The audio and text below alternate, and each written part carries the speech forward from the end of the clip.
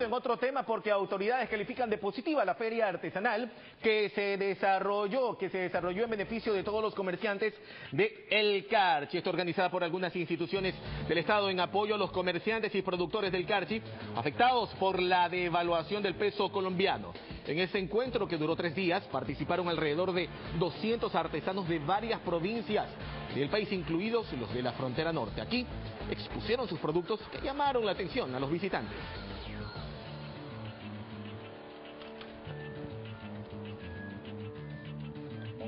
Replicar esta misma feria en algunos lugares del país, podría ser para el próximo año, se ha pensado en estos días que la feria ha sido todo un, todo un éxito, ha tenido una, una concurrencia masiva de la ciudadanía de Quito de manera solidaria, también es, es con la presencia del presidente en el Carchi, con la reactivación productiva que va a haber en el Carchi, se va a mitigar bastante, y no solo en el Carchi, sino todo en la frontera norte, va a mitigar mucho la, la problemática social que está causado este impacto.